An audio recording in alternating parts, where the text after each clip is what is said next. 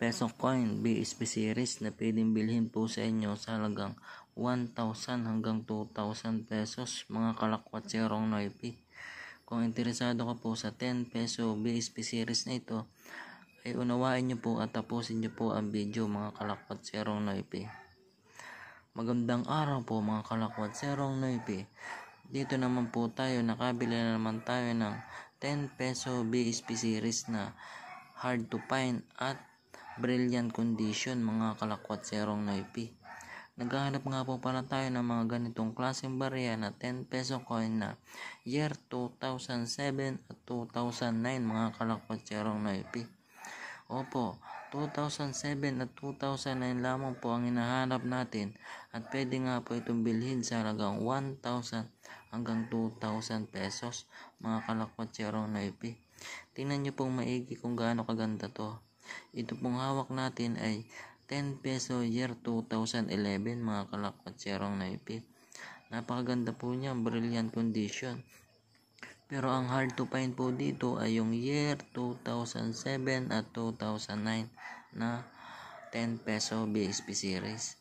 Baka po meron kayong mga ganon na 2007 at year 2009 na 10 peso BSP series Huwag po kayo mahihiyang mag-message sa ating FB page, Lakwat Serong Noipi, at bibilhin ko po sa inyo sa halagang 1,000 hanggang 2,000 pesos, mga kalakwat Serong Noipi. Basta tugma lamang po sa ating hinahanap na 2007 at year 2009. Yun lamang po mga kalakotserong noipi.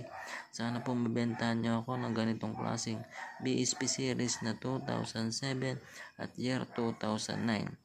Okay po, bye bye. Kitang kita nyo naman mga kalakotserong noipi. Ayan po, 20 peso coin na brilliant condition. At patuloy pa nga po tayong bumibili ng mga ganitong klaseng 20 peso coin mga kalakotserong noipi. Kung mapapansin nyo po mga kalakwatsero noipe, ay ang, ang hawak po natin ay yung year 2020. Yan po. Ito po ay nabili natin sa isa nating subscriber. Ngunit tumigil muna po ako sa pagbili ng ganitong klaseng taon. Dahil meron po tayong isang hinahanap na hard to find na 20 peso coin.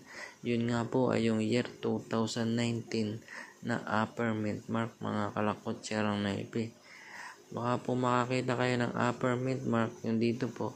Tapos year 2019 ang taon. Ay ipagbigay alam nyo lang po sa akin at bibiling ko po sa inyo sa halagang 2,000 pesos mga kalakotserong naipi sapagkat naghahanap po talaga ako ng ganong klaseng taon 2019 na upper mint mark mga kalakotserong naipi sana po mabentahan niya ako ng ganong klaseng barya. Marami pong salamat.